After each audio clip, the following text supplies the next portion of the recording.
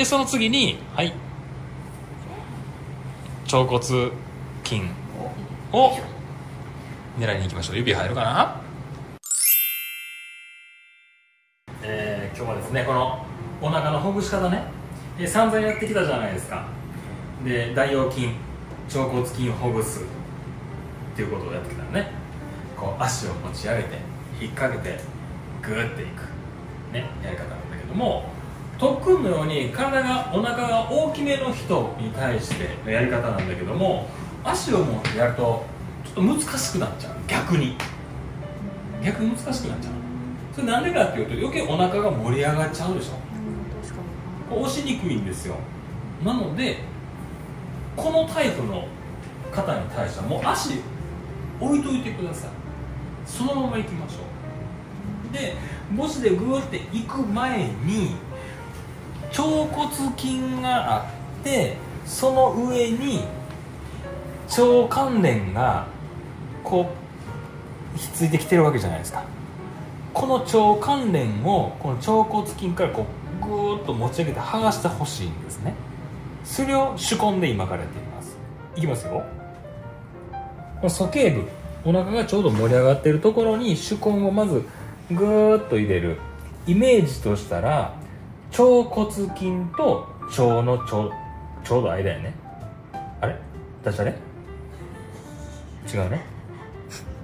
違うよ。そういう意味じゃないよ。もう一回いくよ。腸骨筋と腸のちょうど間に。手根を入れる。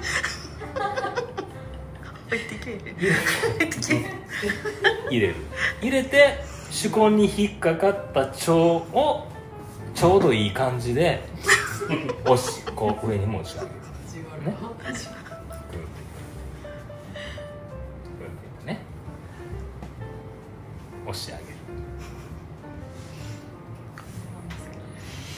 押し上げる。押し上げる。でこの間にちょっとずつ入れてね、その作業してから。の方が獅子が入りやすくなっていくと思うよ。で入っていくなって感じてから第2段階で足を持ち上げてやると入れやすくなる。最初から足持ち上げるんじゃなくてね。第2段階としてこれやっていくと以前よりやりやすいかな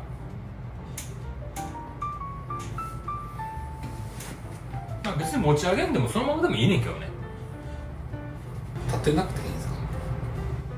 うんそのどっちがやりやすいかやな。これやると結局膝やるとおしうん。お腹がモコってなっちゃうからもうこう伸ばした状態で押しても全然いい。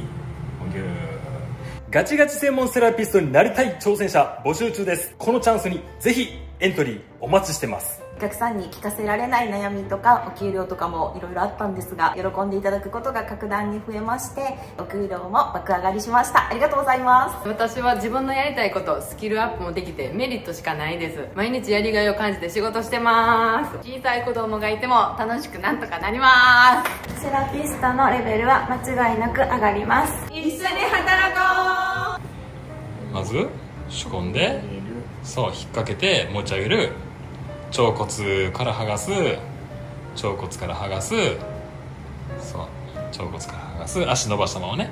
でその次にはい。腸骨筋を狙いに行きましょう。指入るかな？ズキューン。おお入るね。うん。入りやすくなったね。オッケーオッケー今聞いてると思うわ。そういうことね。あの手根で押し上げるっていう作業が必要になってくればね。それしたらすっごい柔らかくなりますね。柔らかくなる？はい。OK いきます。ではこれでやっていきましょう